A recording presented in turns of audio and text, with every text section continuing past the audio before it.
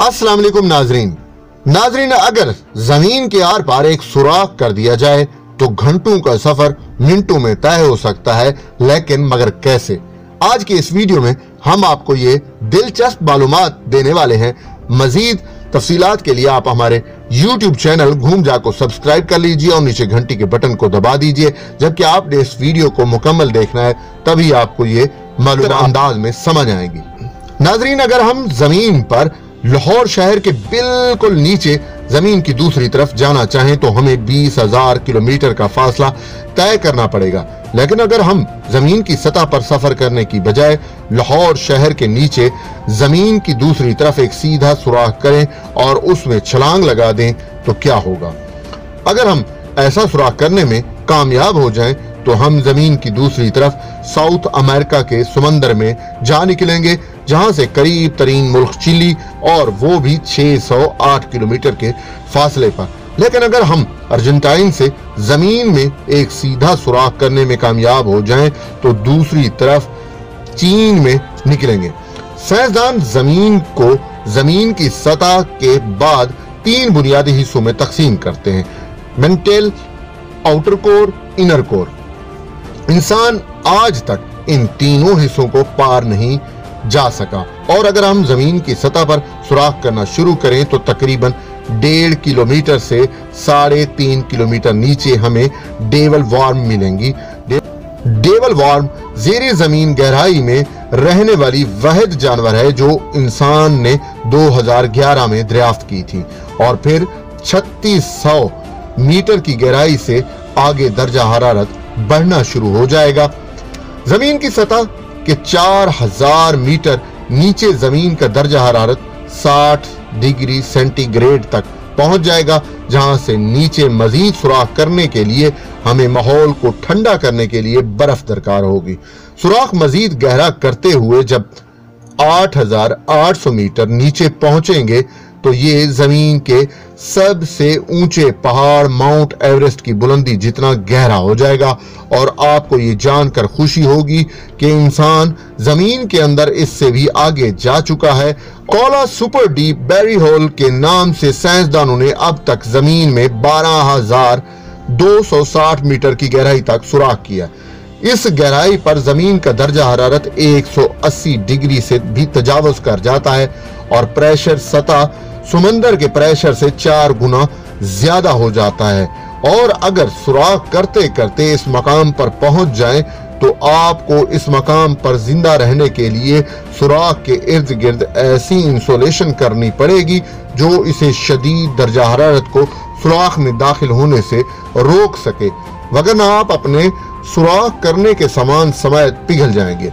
अगर आप सुराख करते करते चालीस हज़ार मीटर नीचे ज़मीन में जाएँ तो यहाँ से ज़मीन की दूसरी तय मेंटल शुरू हो जाएगी और इस मकाम पर ज़मीन का दर्जा हरारत 1000 डिग्री के करीब पहुँच जाएगा, जहाँ लोहा और सिल्वर पिघल जाता है। मगर खुशखबरी यह है कि स्टील नहीं पिघलेगा, क्योंकि स्टील को पिघलाने के लिए दर्जा हरारत 1370 डिग्री से ज़्यादा होना ज़रूरी है।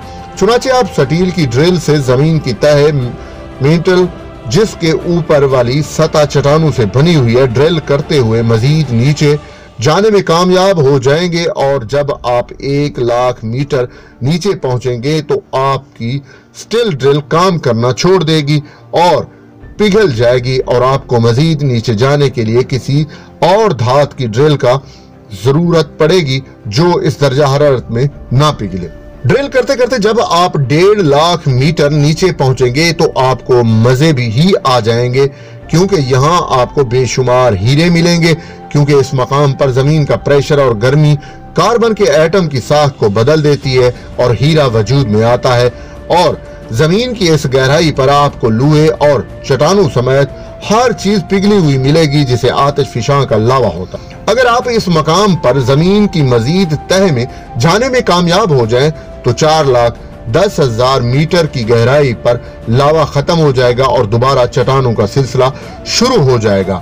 ज़मीन की इस गहराई पर दर्जा हरारत बेहद हो, ज़्यादा हो जाता है, मगर चटाने इसलिए नहीं पिघलती क्योंकि ज़मीन का प्रेशर बढ़ते बढ़ते इस मकाम पर चला जाता है, जहाँ मालिक्यूल पिघल नहीं पाते, चुनाचे चटाने दोबारा वजूद में आ जाती हैं। ड्रिल करते करते जब आप तीन मिलियन मीटर की गहराई पर पहुँचेंगे तो आपको ज़मीन की तीसरी तय आउटर कोर मिलेगी और ये तय चटानों की बजाय लूहे और निकल से बनी हुई होगी। और इस मकाम का दर्जा हरारत, सूरज के दर्जा हरारत के बराबर है और तकरीबन पाँच से छह हज़ार डिग्री गर्म है। ये तह ज़मीन की इंतहाई अहम तह है, क्योंकि यहाँ मैग्नेटिक फील्ड्स बनती हैं। जो ज़मीन की सतह से बहर निकलकर खला तक जाकर एक बैरियर बनाती हैं और ज़मीन की सतह को सोलर विंड से महफूज रखती हैं। ज़मीन की इस तह पर आपको लुहे और निकल के पिघल हुआ मिलेगा और ड्रिल करने के लिए कोई सुपर मटेरियल दरकार होगा। और इंसान की अकल ने अब तक कोई ऐसी चीज़ दरियाफ्त नहीं की जो 6000 डिग्री सेंटीग्रेड से ऊपर का दर्जा हरारत बर्दाश्त कर सके। इस मकाम पर आपको ड्रिल करने में दूसरा बड़ा मसला ये दरपेश आएगा कि यहाँ कशिश शकल बहुत कम हो जाएगी और आपको कोई सुपर सब मैरीन दरकार होगी जो इंतहाई प्रेशर और हिद्दत को बर्दाश्त करते हुए मजीद गहराई में जा सके। और जब आप आउटर कोर को ड्रिल करते हुए मजीद नीचे जा पहुँचेंगे तो तकरीबन पाँच लाख मीटर नीचे आपको ज़मीन की इनर कोर मिलेगी, जो कि जमे हुए लूहे की बनी हुई है। यहाँ पर कशिश शकल सिफर हो जाती है और ज़मीन की इस तह में सुराख करना आपके लिए मजीद मुश्किल हो जाएगा। लेकिन अगर आप यहाँ भी कामयाब हो गए तो तकरीबन छह इशारिया चार मिलियन मीटर नीचे ज़मीन के बिल्कुल वस्त में पहुँच जाएँगे और जहाँ से आगे ड्रिल करने के लिए आपको नीचे जाने की बजाय ऊपर की तरफ़ क्लैंप करना पड़ेगा।